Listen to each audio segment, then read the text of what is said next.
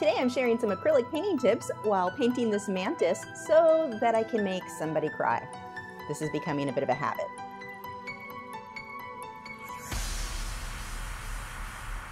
My friend Corey over at Aqua Studios wanted to surprise his girlfriend with a painting of her mantis. Corey is really, really bad at taking usable reference photos. Ask me how I know.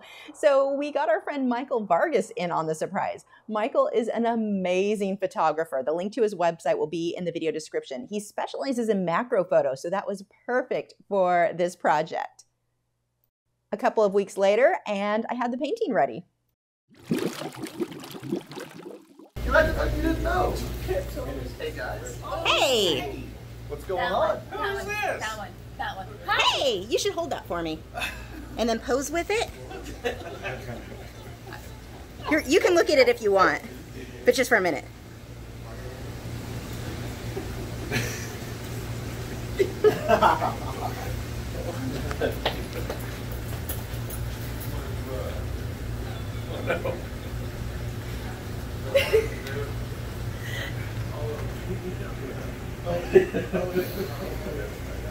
So you had Yeah, I, I, I had Michael Vargas come over and take pictures with you knowing it was Michael Vargas, but not knowing it was going to be for a big a painting.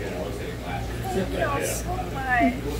I love See, she's not sad. She's smiling. I'm not making everyone have sad tears. That makes it somehow okay that I keep making people cry, right? If you are supporters over on Patreon, head over where you've got the one hour version of this lesson available for you now. If you're unfamiliar with Patreon, for as little as $4 a month, you get access to all of my longer videos. I have a new one every single week and over 300 available as soon as you sign up. If you're not sure if Patreon is a fit for you, you can head over to my Patreon video library. I will have a link in the video description where you can check out what tutorials I have. For this one, I started with the background, which is pretty usual for me with working with acrylics. It is easier if you paint the entire background like the subject's not even there than to try to paint around fine details in your subject. It will just save you so much time and you get a smoother, more seamless transition between the subject and that background. So I use the airbrush on this one with the FX texture effect, that is that stencil you're seeing right there to create that sky. I started with titanium white and then I just did what is essentially a glaze. It's a translucent layer on top of it. So you can still see all that texture I previously had done. If I had used these pink, oh, my brain shut down, the pink and the orange colors directly onto the blue, you would have just gotten this sort of muddy brown color it would have just tinted the color there. It wouldn't have actually come out orange and magenta. So by putting the white down first and then putting the, the more translucent colors on top, it lets it really stand out. That white is very opaque. Once that is on there, I'm going to go ahead and you can see I splattered my stars on with a palette knife and a stiff brush, just flick that white paint down. Now I'm going to create a vignette look right around the edges. And I'm only using the airbrush on this piece for the background. It's just going to save a ton of time for this, this sort of thing. That background is so fast to do with an airbrush, but it would have taken me days if I sat there and hand painted it. A few more white, white highlights. Then I'm going to go ahead and paint. I wanted a tropical feel on this one. So I want some mountains in the distance. We're going to use the same blue that I used in that background for the mountains that are farther away. And then as I move my way forward, I'll get a bit of a green tint to those and then darken those up around the edge as well. I don't want the background to really be the focus, or at least not the mountains to be the focus on this guy.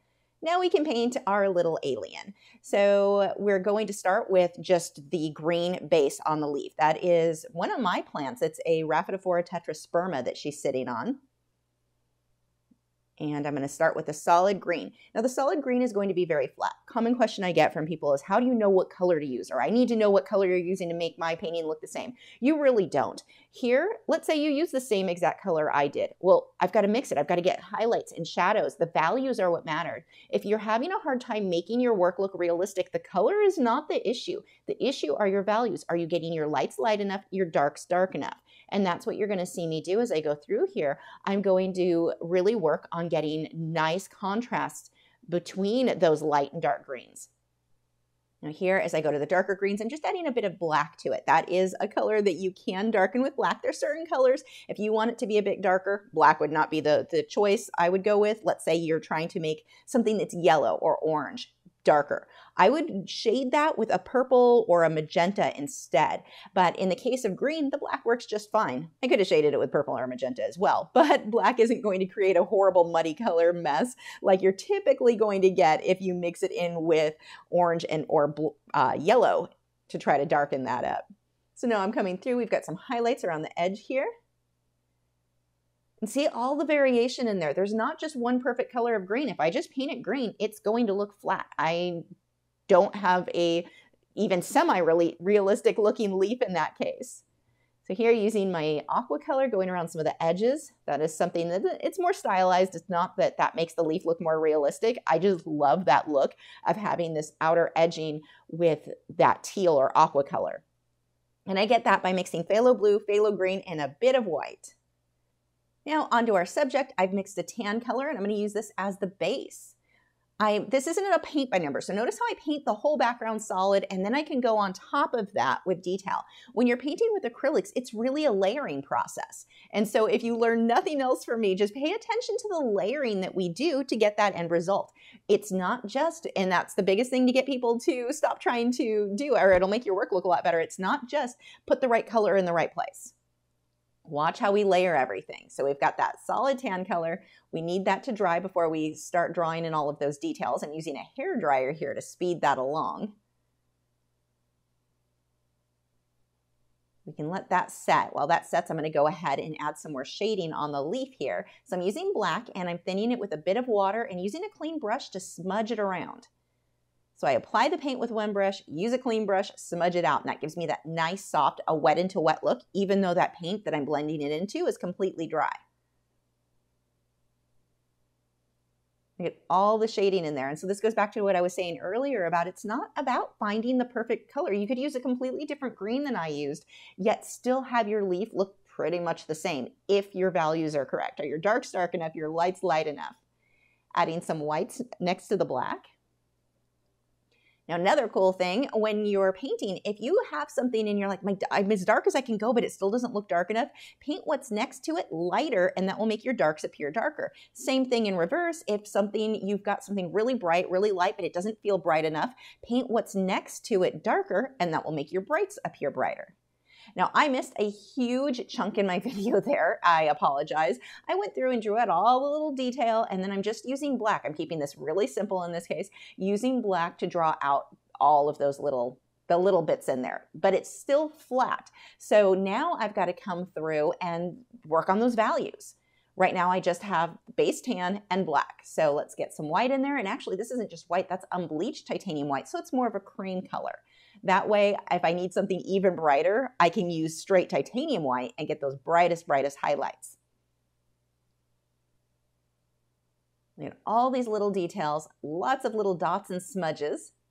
Now, you may be hesitant when you see something with that much detail, like, oh my gosh, that's too hard, that's going to be too much work. It's actually easier to make something very busy look good than something that's very simple. It's time consuming, it certainly takes more time and more patience. But as far as skill wise, you may look at something really busy thinking, oh my gosh, it's too much. I'm not good enough for that yet. No, you just, as long as you're patient enough, it is going to be so much easier for you to make that really busy thing, lots of detail look good than something very simple because all that busyness, all that detail will hide mistakes that you can't hide easily on something that's more simple. So don't like kind of push away the idea of working on something that has a lot more detail because it's not as hard as you think it is. It's just time consuming. So I want to get some orange in here, let her stand out. And I'm just doing this as a glaze, which means a decent amount of water, smaller amount of paint. And I'm using paint that is fairly translucent so that it just tints the color. You can still see all that detail I painted, just tinting the color. Got a little bit of magenta in here now.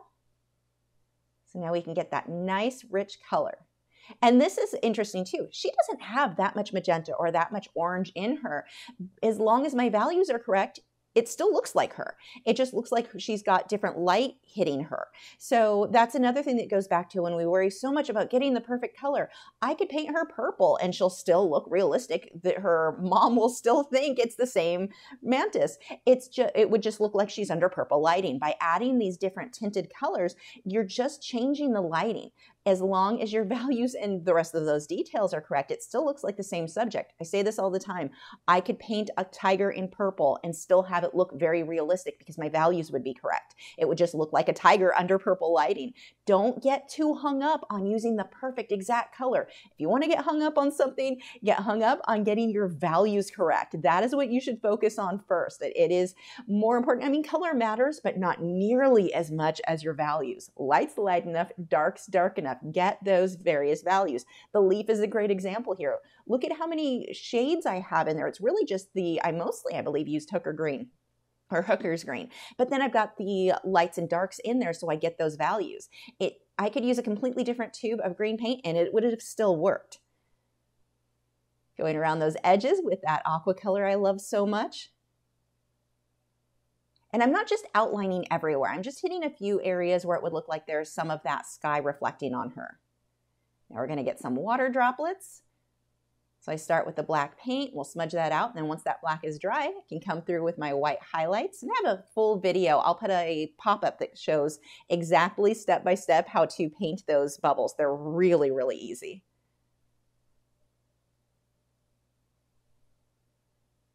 A few final details in the shading. Again, just adjusting those values, make my darks a little bit darker so the light areas are pushed out. Same thing on the leaf. Get a little bit of shading in there.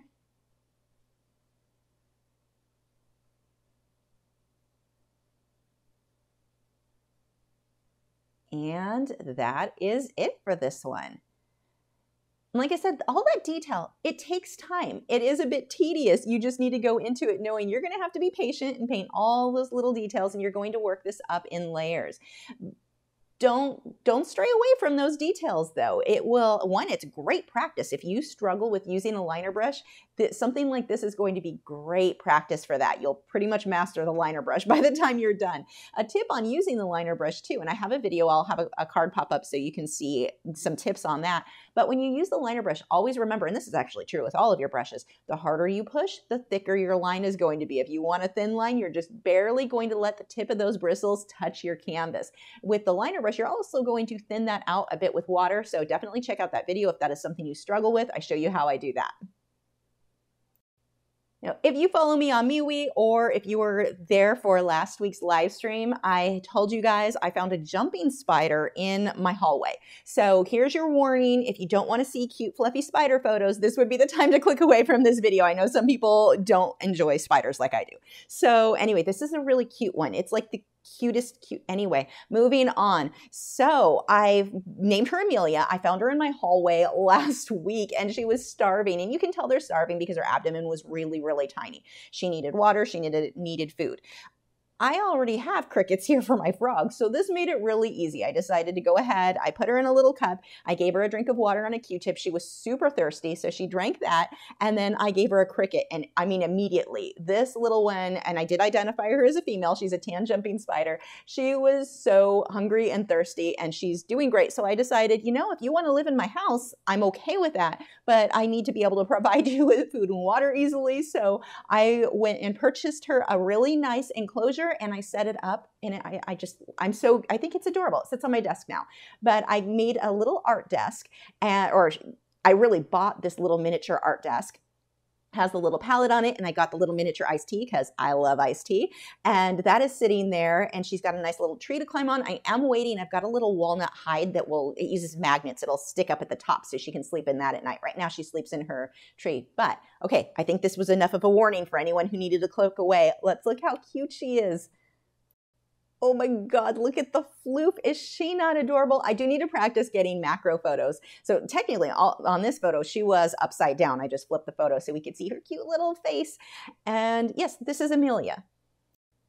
Jumping spiders are really cool. They're very, very tiny, and they're really not afraid of people. She's she's seems to be as interested at watching me as I am in watching her. Well, that and I'm the lady who keeps bringing her food, so she likes that too. I've wanted one for a while, so I had already done my research on them. But the reason that I held back is they don't live a whole a long time. They're typically on a female one to three years. A male would be shorter. She is a female. I have no idea how old she is. And I knew I get so attached to my animals. I was afraid I would get super attached and be so sad. But um, when she, you know, eventually lived out her life.